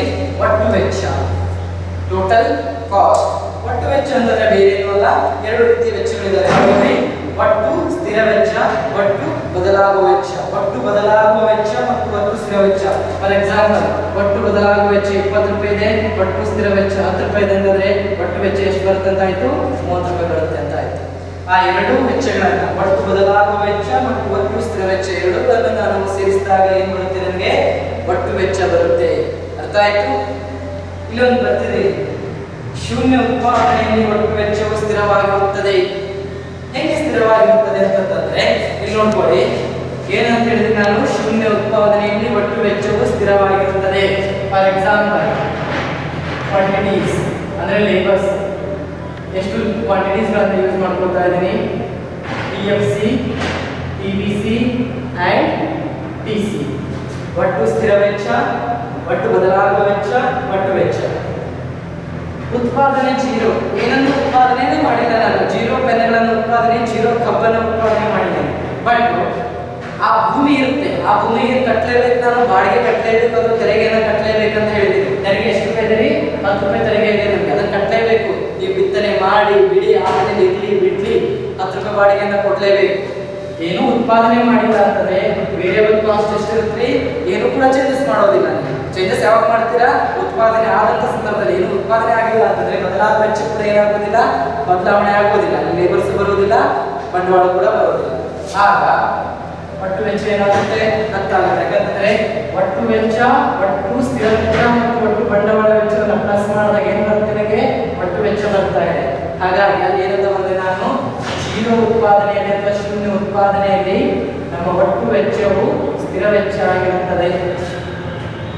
ಜೀರೋ ಉತ್ಪಾದನೆ ಮತ್ತು ಶೂನ್ಯ ಉತ್ಪಾದನೆಯಲ್ಲಿ ಒಟ್ಟು ವೆಚ್ಚವು ಯಾವುದಕ್ಕೆ ಸಮವಾಗಿರುತ್ತದೆ? ನಮ್ಮ ಒಟ್ಟು ಸ್ಥಿರ ವೆಚ್ಚಕ್ಕೆ. ಆ ಸ್ಥಿರ ವೆಚ್ಚ ಹಾಗೆ? ಒಟ್ಟು ವೆಚ್ಚ ಆಗುತ್ತೆ ನೋಡಿ ಒಂದು ಉತ್ಪಾದನೆ ಮಾಡಿ ಸ್ಥಿರ ವೆಚ್ಚ ಎಷ್ಟಿದೆ? ಹತ್ತಿದೆ. ಅವಾಗ ಬದಲಾವಣೆ ವೆಚ್ಚ ಬರುತ್ತೆ ಆರ್ಥಿಕತೆಯಲ್ಲಿ. ಅದು ಮೇ ಬಿ ಹದಿನೈದು ರೂಪಾಯಿ ಆಗಿರ್ಬೋದು ಅಥವಾ ಇಪ್ಪತ್ತು ರೂಪಾಯಿ ಆಗಿರ್ಬೋದು. ಅವಾಗ ನಿಮ್ಮ ಒಟ್ಟು ಸ್ಥಿರ ವೆಚ್ಚ, ಒಟ್ಟು ವೆಚ್ಚ ಎಷ್ಟಾಗುತ್ತೆ? ಮೂವತ್ತು ರೂಪಾಯಿ ಆಗುತ್ತೆ. ಅರ್ಥ ಆಯ್ತಾ? ಯಾವಾಗ ನಾವು ಉತ್ಪಾದನೆಯನ್ನ ಪ್ರಾರಂಭ ಮಾಡ್ತೀವೋ ಅಥವಾ ನಮ್ಗೆ ಏನ್ ಬರುತ್ತೆ? ಒಟ್ಟು ಬದಲಾಗುವ ವೆಚ್ಚ ಬರುತ್ತೆ. ಉತ್ಪಾದನೆ ಇಲ್ಲ ಒಂದು ಕಾಸ್ಟ್ ಇದ್ದೇ ಇರುತ್ತೆ, ಅದು ಸ್ಥಿರ ವೆಚ್ಚ. ಇನ್ನೊಂದು, ಒಟ್ಟು ಬದಲಾಗುವ ವೆಚ್ಚ ಹೆಚ್ಚಾದರೆ ಉತ್ಪಾದನೆ ಕೂಡ ಹೆಚ್ಚಾಗುತ್ತದೆ. ಇಲ್ಲಿ ನೋಡಿ, ಒಟ್ಟು ಬದಲಾಗುವ ವೆಚ್ಚ ಜೀರೋ ಇತ್ತು. ಒಟ್ಟು ವೆಚ್ಚ ಎಷ್ಟಿದೆ? ಹತ್ತಿದೆ. ಒಟ್ಟು ಬದಲಾಗುವ ವೆಚ್ಚ ಜಾಸ್ತಿ ಆಯಿತು. ಒಟ್ಟು ಬದಲಾಗುವ ವೆಚ್ಚ ಜಾಸ್ತಿ ಆಯಿತು ಅಂದಾಗ ಒಟ್ಟು ಉತ್ಪಾದನೆ ಕೂಡ ಜಾಸ್ತಿ ಆಯಿತು ಒಟ್ಟು ಬದಲಾಗುವ ವೆಚ್ಚ ಜಾಸ್ತಿ ಆಗಿದೆಲ್ಲ ಏನಾಯ್ತು ಎಷ್ಟಾಗಿದೆ ರೀ ಇಪ್ಪತ್ತಾಯ್ತು. ಹಾಗಾಗಿ ನಿಮ್ಮ ಒಟ್ಟು ವೆಚ್ಚ ಕೂಡ ಏನಾಯ್ತು ಇಲ್ಲಿ? ಹತ್ತಿದ್ದು ಎಷ್ಟಾಯ್ತು? ಮೂವತ್ತಾಯ್ತು. ಅಂದ್ರೆ ಟಿ ಸಿ ಇನ್ಕ್ರೀಸ್ ಆಗುತ್ತೆ ಅಂತಂದ್ರೆ ಟಿ ಸಿ ಕೂಡ ಏನಾಗಬೇಕು ಇನ್ಕ್ರೀಸ್ ಆಗಲೇಬೇಕು. ಬಟ್ ಏನ್ ಚೇಂಜಸ್ ಆಗೋದಿಲ್ಲ? ನಿಮ್ಮ ಟಿ ಎಫ್ ಸಿ ಚೇಂಜಸ್ ಆಗೋದಿಲ್ಲ, ಯಾವುದೇ ಕಾರಣಕ್ಕೂ ಯಾವಾಗಲೂ ಏನಾಗುತ್ತೆ ಆರ್ಥಿಕತೆಯಲ್ಲಿ ಸ್ಥಿರವಾಗಿರುತ್ತೆ. ಹಾಗಾಗಿ ನಾನು ಟಿ ಎಫ್ ಸಿ ಅಂತ ಕರೆದೆ. ಬೇಸಿಗೆ ಇನ್ನ ಬರ್ನೇದದ್ದು ನಾಲ್ಕನೇ ವೆಚ್ಚ ಯಾವ್ದು ಬರ್ತಾ ಇದೆ ನಮಗೆ ಅಲ್ಪಾವಧಿಯ ಸರಾಸರಿ ವೆಚ್ಚ. ಅಲ್ಪಾವಧಿಯ ಸರಾಸರಿ ವೆಚ್ಚ ಅಂತಂದ್ರೆ ಪ್ರತಿ ಯೂನಿಟ್ನ ಉತ್ಪನ್ನದ ಒಟ್ಟು ವೆಚ್ಚವನ್ನ ಏನಂತ ಕರೀತಾ ಇದ್ದೀವಿ ಅಲ್ಪಾವಧಿಯ ಸರಾಸರಿ ವೆಚ್ಚ. ಅರ್ಥ ಮಾಡ್ಕೊಳ್ಳಿ, ಕಾಮ್ ಆಗಿ. ಆಲ್ರೆಡಿ ನಾವು ಹಿಂದಿನ ಅಧ್ಯಾಯದಲ್ಲಿ ಏನ್ ನೋಡಿದ್ವಿ? ಸರಾಸರಿ ಉತ್ಪನ್ನ ನೋಡಿದ್ವಿ. ಸರಾಸರಿ ಉತ್ಪನ್ನ ಡೆಫಿನಿಷನ್ ಏನು? ಪ್ರತಿ ಉತ್ಪನ್ನದ ಒಟ್ಟು ಉತ್ಪನ್ನವನ್ನು, ಪ್ರತಿ ಯೂನಿಟ್ನ ಉತ್ಪನ್ನದ ಒಟ್ಟು ಉತ್ಪನ್ನವನ್ನ ಏನಂತ ಕರೀತಾ ಇದ್ದೇನೆ ನಾನು? ಸರಾಸರಿ ಉತ್ಪನ್ನ ಅಂತ ಕರೀತಾ ಇದ್ದೆ ಪ್ರತಿ ಅನ್ನೋ ವರ್ಡ್ ಬರಬೇಕಿಲ್ಲಿ ಈಚ್ ಯೂನಿಟ್ ಸೊ ಅವಾಗ ಡೆಫಿನಿಷನ್ ಒಟ್ಟು ಉತ್ಪನ್ನ ಡಿವೈಡೆಡ್ ಬೈ ಶ್ರಮ T P divided by L but ಇಲ್ಲಿ ಪಿ ಅನ್ನೋ ವರ್ಡ್ ತೆಗೆದು ಸಿ ಅನ್ನೋ ವರ್ಡ್ ಹಾಕೋತಾ ಇದ್ದೀನಿ. ಒಟ್ಟು ಉತ್ಪನ್ನದಲ್ಲಿ ಒಟ್ಟು ವೆಚ್ಚ. ಲೇಬರ್ ಬಂದಾಗ ಅಂತ ತಗೊಳ್ತಾ ಇದ್ದೀನಿ ಕ್ವಾಂಟಿಟೀಸ್ ಗಳನ್ನ ತಗೊಳ್ತಾ ಇದ್ದೀನಿ ಕ್ಯೂ ಅಂತ ತಗೊಳ್ತಾ ಇದ್ದೀನಿ ಅಂದ್ರೆ ಎಷ್ಟು ಉತ್ಪಾದನೆ ಮಾಡ್ತಾ ಇದ್ದೀನಿ ಅಷ್ಟೇ ಡಿಫರೆನ್ಸ್ ಪ್ರತಿ ಯೂನಿಟ್ನ ಉತ್ಪನ್ನದ ಒಟ್ಟು ವೆಚ್ಚವನ್ನು ಅಲ್ಪಾವಧಿಯ ಸರಾಸರಿ ವೆಚ್ಚ ಎಂದು ಕರೆಯುತ್ತೇವೆ. ಅಲ್ಲಿ ಒಂದು ವೇಳೆ ಒಟ್ಟು ಉತ್ಪನ್ನ ಅಥವಾ ಸರಾಸರಿ ಉತ್ಪನ್ನ ಅಂತ ಏನಾದ್ರು ಕೇಳಿದ್ರೆ ಅಂತಂದ್ರೆ ಪ್ರತಿ ಯೂನಿಟ್ನ ಉತ್ಪನ್ನದ ಒಟ್ಟು ಉತ್ಪನ್ನವು ವೆಚ್ಚದ ಬದಲಾಗಿ ಹೇಳ್ತಾ ತಗೊಳ್ತಾ ಇದೆ. ಉತ್ಪನ್ನ ತಗೊಳ್ತಾ ಇದೆ. ಅದು ಒಟ್ಟು ಉತ್ಪನ್ನದ ಸರಾಸರಿ ಉತ್ಪನ್ನ ಆಗ್ತಾ ಇತ್ತು ಇಲ್ಲಿ ವೆಚ್ಚದ ಬಗ್ಗೆ ಅಧ್ಯಯನ ಮಾಡ್ತಾ ಇದ್ದೀನಿ. ವೆಚ್ಚ ತಗೋಬೇಕಾಗುತ್ತೆ. ಪ್ರತಿ ಯೂನಿಟ್ ಉತ್ಪನ್ನದ ಒಟ್ಟು ವೆಚ್ಚವನ್ನು ಅಲ್ಪಾವಧಿಯ ಸರಾಸರಿ ವೆಚ್ಚ ಅಂತ ಕರೀತಾರೆ. ಡೆಫಿನಿಷನ್ ತುಂಬಾ ಇಂಪಾರ್ಟೆಂಟ್ ನಿರಂತರ ಪ್ರಶ್ನೆ ಕೇಳ್ತಾ ಇರ್ತಾರೆ. ಅಥವಾ ಲಾಂಗ್ ಕ್ವಶನ್ ಕೇಳಿದಾಗ ಡೆಫಿನೇಷನ್ ಕ್ಲಿಯರ್ಲಿ ಅರ್ಥ ಆಗಿರಬೇಕು ಸೊ ನೀವು ಅರ್ಥ ಮಾಡ್ಕೊಳ್ಳೋದು ಏನಂತಂದ್ರೆ S S C divided by T C divided by Q T C ಅಂತಂದ್ರೆ ಏನ್ರಿ? ಒಟ್ಟು ವೆಚ್ಚ ಡಿವೈಡೆಡ್ ಬೈ ಉತ್ಪನ್ನ. ಎಷ್ಟು ಉತ್ಪನ್ನ ಮಾಡ್ತಾ ಇದೀವಿ ಅಲ್ಲೇನ್ ಮಾಡ್ತಾ ಇದೀವಿ ಒಟ್ಟು ಉತ್ಪನ್ನ ಡಿವೈಡೆಡ್ ಬೈ ಎಷ್ಟು ಆಧಾರ? ಲೇಬರ್ ಎಷ್ಟು ಯೂಸ್ ಮಾಡ್ಕೊಂಡಿದ್ದೆ ಅನ್ನೋದನ್ನ ನೋಡ್ತಾ ಇದ್ವಿ ಹಾಗಾಗಿ ಟಿ ಪಿ ಬದಲಾಗಿ ಟಿ ಸಿ ತಗೊಂಡೆ ಎಲ್ ಬದಲಾಗಿ ಏನ್ ತಗೊಂಡೆ? ಕ್ಯೂ ತಗೊಂಡೆ. ಅದೇನಾಯ್ತ್ರಿ? ಸರಾಸರಿ ವೆಚ್ಚ ಆಗುತ್ತೆ. ಅಲ್ಪಾವಧಿಯ ಸರಾಸರಿ. ಎಸ್ ಅಂತಂದ್ರೆ ಶಾರ್ಟ್ ರನ್ ಅಲ್ಪಾವಧಿಯ ಸರಾಸರಿ ವೆಚ್ಚ. ಇದನ್ನ ಇನ್ನೊಂದು ರೀತಿಯಿಂದನೂ ಕೂಡ ಕಂಡುಹಿಡಿಯಬಹುದು ಸರಾಸರಿ ವೆಚ್ಚ, ಅಲ್ಪಾವಧಿಯ ಸರಾಸರಿ ವೆಚ್ಚ ಈಕ್ವಲ್ ಟು ಅಲ್ಪಾವಧಿಯ ಸರಾಸರಿ ವೆಚ್ಚನ ಇನ್ನೊಂದು ರೀತಿಯಲ್ಲಿ ಕಂಡುಹಿಡಿದರೆ ಸರಾಸರಿ ಬದಲಾಗುವ ವೆಚ್ಚ ಪ್ಲಸ್ ಸರಾಸರಿಯ ಸ್ಥಿರ ವೆಚ್ಚ. ಟಿಸಿ ಸಿ ನೀವು? ಟಿ ಪ್ಲಸ್ ಟಿ ಟಿ ಬಂತು ಅಂತಂದ್ರೆ ಇಲ್ಲಿ ಕೂಡ ಟಿ ಬರುತ್ತೆ. ಟಿ ಪ್ಲಸ್ ಟಿ ಎ ಬಂತು ಅಂತಂದ್ರೆ ಇಲ್ಲಿ ಕೂಡ ಎವರೇಜ್ ವೇರಿಯಬಲ್ ಏನು ಬರಬೇಕು ನಮಗೆ. ಸರಾಸರಿ ಮಾಡೋದು ಬರಬೇಕು. ಅರ್ಥ ಆಯ್ತಾ? ಮೋಸ್ಟ್ ಆಫ್ ದಿ ಟೈಮ್ ಇದನ್ನೇ ಯೂಸ್ ಮಾಡಬೇಕಾಗುತ್ತೆ ನಾವು. ಇನ್ನೊಂದು ರೀತಿಯಲ್ಲಿ ಕೂಡ ಇದನ್ನು ಕೂಡ ನಾವೇನು ಮಾಡಬಹುದು ಯೂಸ್ ಮಾಡಬಹುದು ಅದೇ ರೀತಿಯಾಗಿ ಇನ್ನೊಂದು ಪರಿಕಲ್ಪನೆ ಯಾವುದು? A B C average variable cost ಸರಾಸರಿ ಬದಲಾಗುವ ವೆಚ್ಚ. ಸರಾಸರಿ ಬದಲಾಗುವ ವೆಚ್ಚವನ್ನು ನಾವು ನೋಡ್ತಾ ಇರೋದ್ರಿಂದ ನಮ್ಮ ತಲೆಯಲ್ಲಿ ಏನ್ ಬರ್ಬೇಕ್ರಿ? ಒಟ್ಟು ಬದಲಾಗುವ ವೆಚ್ಚ ಬರಲೇಬೇಕು ಬಿ ಎಬಿಸಿ ಬಗ್ಗೆ ನೋಡ್ತಾ ಇದ್ರೆ ಟಿವಿಸಿ ತರ ಬರಬೇಕು. ಡೆಫಿನಿಷನ್ ಸೇಮ್ ಪ್ರತಿ ಯೂನಿಟ್ನ ಉತ್ಪನ್ನದ ಒಟ್ಟು ಬದಲಾಗುವ ವೆಚ್ಚವನ್ನು ಸರಾಸರಿ ಬದಲಾಗುವ ವೆಚ್ಚ ಸರಾಸರಿ ಬಂತು ವರ್ಡ್ ಬಂದ್ಬಿಟ್ಟಿದೆ ನಿಮಗೆ ಪ್ರತಿ ಯೂನಿಟ್ನ ಉತ್ಪನ್ನದ ಒಟ್ಟು ಬದಲಾಗುವ ವೆಚ್ಚವನ್ನು ಸರಾಸರಿ ಉತ್ಪನ್ನ ಅಂತ ಹೇಳ್ತಾರೆ. ಫಾರ್ ಎಕ್ಸಾಂಪಲ್ ಫಾರ್ಮುಲಾ ಇದೆ ಎ ಇಕ್ವಲ್ ಟು ಸರಾಸರಿ ಬದಲಾಗುವ ವೆಚ್ಚ, ಒಟ್ಟು ಬದಲಾಗುವ ವೆಚ್ಚ ಡಿವೈಡೆಡ್ ಬೈ ಉತ್ಪನ್ನ. ಫಾರ್ ಎಕ್ಸಾಂಪಲ್ ಒಟ್ಟು ಬದಲಾಗುವ ವೆಚ್ಚ ಇಪ್ಪತ್ತು ರೂಪಾಯಿ ಅನ್ಕೊಳ್ಳೋಣ ಉತ್ಪನ್ನ ಆ ಸಂದರ್ಭದಲ್ಲಿ ಹೇಳಿತ್ತು ಅಂತಂದ್ರೆ ನಿಮ್ಮ ಸರಾಸರಿ ವೆಚ್ಚ ಎಷ್ಟು ಬಂತು ಅಂತ ಹತ್ತು ಸರಾಸರಿ ಬದಲಾಗುವ ವೆಚ್ಚ ಎಷ್ಟು ಬಂದ್ರಿ ಹತ್ತು ಬರುತ್ತೆ ಅನ್ನೋದನ್ನ ಅರ್ಥ ನಾವು ಸರಾಸರಿ ವೆಚ್ಚ ಬಗ್ಗೆ ಬದಲಾಗುವ ವೆಚ್ಚ ಬಗ್ಗೆ ನೋಡಿದ್ವಿ ಅಂತಂದ್ರೆ ಸರಾಸರಿ ಸ್ಥಿರ ವೆಚ್ಚದ ಬಗ್ಗೆ ನೋಡಲೇಬೇಕು. ಇಲ್ಲಿ ಸರಾಸರಿ ಸ್ಥಿರ ವೆಚ್ಚ ಬಂತು ಅಂತಂದ್ರೆ ಯಾವುದನ್ನ ಅರ್ಥ ಮಾಡ್ಕೋಬೇಕಾಗುತ್ತೆ ಅಂತ ಹೇಳಿ? ಸರಾಸರಿ ಒಟ್ಟು ಸ್ಥಿರ ವೆಚ್ಚ T F C A F C ಬರ್ತಿದೆ ಅಂದ್ರೆ ಟಿ ಎಫ್ ಸಿ ಬರಲೇಬೇಕು. ಸೊ ಫಾರ್ಮುಲಾ ಏನಿದೆ? A F C is equal to T F C divided by Q ಒಟ್ಟು ಸ್ಥಿರ ವೆಚ್ಚ ಡಿವೈಡೆಡ್ ಬೈ ಉತ್ಪನ್ನ. ಇದನ್ನ ನೆನಪಿಸ್ಕೊಂಡು ಬರೀಬಹುದು? ಪ್ರತಿ ಯೂನಿಟ್ನ ಉತ್ಪನ್ನದ ಒಟ್ಟು ಸ್ಥಿರ ವೆಚ್ಚವನ್ನು ಏನಂತ ಕರೆಯಬಹುದು ನಾವು ಸರಾಸರಿ ಸ್ಥಿರ ವೆಚ್ಚ ಅಂತ ಕರೆಯಬಹುದು. ಅರ್ಥ ಆಯ್ತಲ್ಲ? ಕೊನೆಯದಾಗಿ ಮುಖ್ಯವಾಗಿ ಬರುವಂತ ಪರಿಕಲ್ಪನೆ ಯಾವ್ದಪ್ಪ ಅಂತಂದ್ರೆ ಸೀಮಾಂತ ವೆಚ್ಚ. ನಾನು ಹೇಳಿದ್ದೀನಿ ಸೀಮಾಂತ ವರ್ಡ್ ಬಂತು ಅಂತಂದ್ರೆ ಅಲ್ಲಿ ಯಾವ ಬರಬೇಕಾಗುತ್ತೆ? ಚೇಂಜ್ ಬದಲಾವಣೆ, ಬದಲಾಗುವ. ಯಾವ್ದ್ರಲ್ಲಿ ಬದಲಾವಣೆ ಆಗಬೇಕು? ನಿಮ್ಮ ಶ್ರಮದಲ್ಲಿ ಬದಲಾವಣೆ ಆಗೋದ್ರಿಂದ ಯಾವ್ದ್ರಲ್ಲಿ ಬದಲಾವಣೆ ಆಗ್ತಿದ್ರಿ ಒಟ್ಟು ಉತ್ಪನ್ನದಲ್ಲಿ ಬದಲಾವಣೆ ಆಗ್ತಾ ಇದೆ ಅದಕ್ಕೆ ನಾನು ಸೀಮಾಂತ ಉತ್ಪನ್ನ ಅಂತ ಕರೀತಾ ಇದ್ದೀನಿ ಇಲ್ಲಿ ವೆಚ್ಚದ ಬಗ್ಗೆ ಅಧ್ಯಯನ ಮಾಡ್ತಾ ಇದ್ದೀನಿ ಅಂತಂದ್ರೆ ಉತ್ಪನ್ನದ ಪ್ರತಿ ಯೂನಿಟ್ನ ಬದಲಾವಣೆಯಿಂದ, ಉತ್ಪನ್ನದ ಪ್ರತಿ ಯೂನಿಟ್ನ ಬದಲಾವಣೆಯಿಂದ ಒಟ್ಟು ವೆಚ್ಚದಲ್ಲಾಗುವ ಬದಲಾವಣೆ, ಅಲ್ಲಿ ಒಟ್ಟು ಉತ್ಪನ್ನದಲ್ಲಾಗುವ ಬದಲಾವಣೆ ಆಗ್ತಾ ಇತ್ತು. ಅಲ್ಲೇನು ಬರೀತಿದ್ದೆ ನಾನು? ಪ್ರತಿ ಆಧಾರದಲ್ಲಿ ಆಗುವ ಬದಲಾವಣೆಯಿಂದ ಒಟ್ಟು ಉತ್ಪನ್ನದಲ್ಲಾಗುವ ಬದಲಾವಣೆಯನ್ನು ಸೀಮಾಂತ ಉತ್ಪನ್ನ ಅಂತ ಕರೀತಾ ಇದೆ ಇಲ್ಲಿ ಉತ್ಪನ್ನದ ಪ್ರತಿ ಯೂನಿಟ್ನ ಬದಲಾವಣೆಯಿಂದ ಒಟ್ಟು ವೆಚ್ಚದಲ್ಲಾಗುವ ಬದಲಾವಣೆಯನ್ನು ಅಂತ ಕರೀತಾ ಇದ್ದೀನಿ. ಅಲ್ಪಾವಧಿಯ ಸೀಮಾಂತ ವೆಚ್ಚ ಅಂತ ಕರೀತಾ ಇದ್ದೀನಿ. ಫಾರ್ಮುಲಾ ಏನಿದೆ? ಚೇಂಜ್ ಇನ್ ಟಿ ಸಿ ಅಂದ್ರೆ ಒಟ್ಟು ವೆಚ್ಚದಲ್ಲಿನ ಬದಲಾವಣೆ, ಒಟ್ಟು ಪ್ರತಿ ಉತ್ಪನ್ನದಲ್ಲಿನ ಬದಲಾವಣೆ. ಒಟ್ಟು ವೆಚ್ಚದಲ್ಲಿನ ಬದಲಾವಣೆ, ಪ್ರತಿ ಯೂನಿಟ್ನ ಬದಲಾವಣೆ ಪ್ರತಿ ಉತ್ಪನ್ನದ ಬದಲಾವಣೆಯನ್ನ ನಾವೇನ್ ಮಾಡ್ಬೋದ್ರಿ? ಎಸ್ ಎಂ ಸಿ ಅಂತ ಕರಿಬಹುದು ಅರ್ಥ ಆಯ್ತಾ? ಇಲ್ಲಿ ಮುಖ್ಯವಾಗಿ ನೀವು ಏನ್ ಫಾರ್ಮುಲಾ ಫಾರ್ಮುಲಾಗಳನ್ನ ನೆನಪಿಟ್ಕೊಳ್ಳಬೇಕು ಫಾರ್ಮುಲಾ ಡೆಫಿನಿಷನ್ಸ್ ಗಳನ್ನ ಈಸಿಯಾಗಿ ಬರೀಬಹುದು ಫಾರ್ ಎಕ್ಸಾಂಪಲ್ ನಿಮಗೆ ಡೆಫಿನಿಷನ್ ನೆನಪು ಬರ್ತಾ ಇಲ್ಲ? But S L C formula ಗೊತ್ತಿದೆ ನಿಮಗೆ. Change in D C dot I change in Q automatically ತಲೆಯಲ್ಲಿ ಬರುತ್ತೆ ಓ ಸರ್ ಹೇಳಿದ್ರು, ಏನಿಲ್ಲ. ಒಟ್ಟು ಪ್ರತಿ ಯೂನಿಟ್ನ ಬದಲಾವಣೆ ಇಲ್ಲ. ಪ್ರತಿ ಉತ್ಪನ್ನದ ಬದಲಾವಣೆಯಿಂದ ಯಾವುದಕ್ಕೆ ಬದಲಾವಣೆ ಆಗ್ತಾ ಇದೆ? ವೆಚ್ಚದಲ್ಲಿ ಬದಲಾವಣೆ ಆಗ್ತಿದೆ. ಅದನ್ನೇ ನಾನು ಸೀಮಂತ ಉತ್ಪನ್ನ ಅಂತ ಕರೀತಾ ಇದ್ದೀನಿ ಕೇವಲ ಕೇವಲ ಈ ಫಾರ್ಮುಲಾ ನೆನಪಿದ್ರೆ ಸಾಕು ಡೆಫಿನಿಷನ್ಸ್ ಗಳನ್ನ ಈಸಿಯಾಗಿ ಬರೀಬಹುದು ಅದೇ ತರ S S C S S C ಬರೀಬಹುದು T C divided by Q ಅಂದ್ರೆ ಪ್ರತಿ ಉತ್ಪನ್ನದ ಬಳಕೆಯಿಂದಾಗಿ ಯಾವುದರಲ್ಲಿ ಒಟ್ಟು ಉತ್ಪನ್ನ ಎಷ್ಟಿರುತ್ತೆ? ಪ್ರತಿ ಉತ್ಪನ್ನದ ಅಥವಾ ಪ್ರತಿ ಯೂನಿಟ್ನ ಉತ್ಪನ್ನಕ್ಕೆ ಒಟ್ಟು ಉತ್ಪನ್ನವನ್ನ ಏನಂತ ಕರೀತಾ ಇದ್ದೀನಿ ನಾವು ಇದನ್ನು ಪ್ರತಿ ಯೂನಿಟ್ನ ಉತ್ಪನ್ನವನ್ನ ಉತ್ಪನ್ನದ ಒಟ್ಟು ವೆಚ್ಚವನ್ನು ಏನಂತ ಕರೆಯಬಹುದಾಗಿದೆ ನಾನು? Short and average cost so ಈ ಎಲ್ಲಾ ಕಾಸ್ಟ್ಗಳ ಡೆಫಿನಿಷನ್ ಗೊತ್ತಿರಬೇಕು, ಮುಖ್ಯವಾಗಿ ಫಾರ್ಮುಲಾಗಳು ಗೊತ್ತಿರಬೇಕು. ಅಂದಾಗ ಮಾತ್ರ ಮುಂದಿನ ತರಗತಿಯಲ್ಲಿ ನಾವು ಇವುಗಳನ್ನ ಹೇಗೆ ಕಂಡುಹಿಡಿಯಬಹುದು? S A C S L C T B C T F C S M ಮತ್ತು ಎ ಬಿ ಸಿ ಇವುಗಳನ್ನು ಯಾವ ರೀತಿ ಕಂಡುಹಿಡಿಯುವುದನ್ನ ಮುಂದಿನ ತರಗತಿಯಲ್ಲಿ ಟೇಬಲ್ ಸಮೇತ ನಾವು ಏನು ಮಾಡಬೇಕಾಗುತ್ತೆ, ಅದನ್ನು ನೋಡಬೇಕಾಗುತ್ತೆ. ಇದು ಥಿಯೋರಿಟಿಕಲ್ ಆಯಿತು. ಮುಂದಿನ ತರಗತಿಯಲ್ಲಿ ಅದನ್ನು ಹೇಗೆ ಕ್ಯಾಲ್ಕುಲೇಟ್